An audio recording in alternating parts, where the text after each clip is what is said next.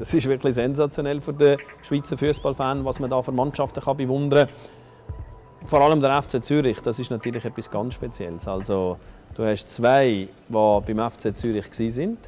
Der Favre, der den Aufschwung eigentlich eingeleitet hat, wo der FCZ jetzt ist. Der Raphael, vergiss mal ab der ist der Favre in Chiasso ausgraben. In der Challenge League hat er gespielt und hat ihn auf Zürich gebracht. Und von da ist er nachher Buff, Berlin, Schalke, Gladbach und spielt jetzt wirklich eine fantastische Rolle. Und ich glaube, das ist euch für den FCZ müssen wir nicht diskutieren, ist es immer etwas Grosses, gegen einen Bundesligist spielen. Ich glaube, der Ganepa wird seine Panini-Bilder aus der früheren Zeit wieder holen und seine Kicker, die er alle archiviert hat.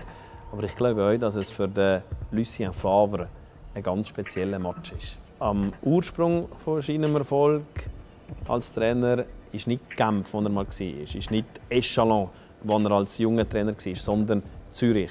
Und nach einem halben Jahr in Zürich, ich mag mich nur erinnern, ist Zürich auf Genf das Göppspiel machen gegen Erstligist. Zürich war Letzter.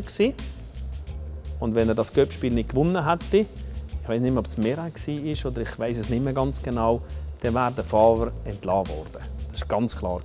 Und das Spiel hat er gedreht und von dem Moment an ist es mit dem Fahrer Abschied gegangen. Und ich habe eben einen grossen Respekt vor dem FC Zürich, dass die das durchgezogen haben mit dem Fahrer und den Mut hatten, den Weg zu gehen, zuerst der Brie und nachher bis ganz nach oben an.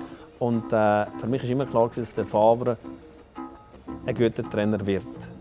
So akribisch, so Fußballverrückter, so, das ist ein positiver Verrückter in Sachen Fußball. Und ich glaube, für ihn ist es eine grosse Sache, gegen diesen Club zu spielen, den er gross gemacht hat als Trainer. Klar, die Favoritenrolle ist bei, bei Gladbach, das ist logisch. Aber ich glaube, die restlichen beiden Gegner kennen Zürcher ja, ist noch schwierig. Also, der spanische Verein ist immer schwierig zum Spielen. Aber wenn es gut läuft und wenn der Hexenkessel letzte Grund endlich mal voll ist, dann kann es äh, vielleicht eine positive Geschichte geben. Aber es wird schwierig, Zweiter zu werden, aber es ist äh, möglich für den FCZ.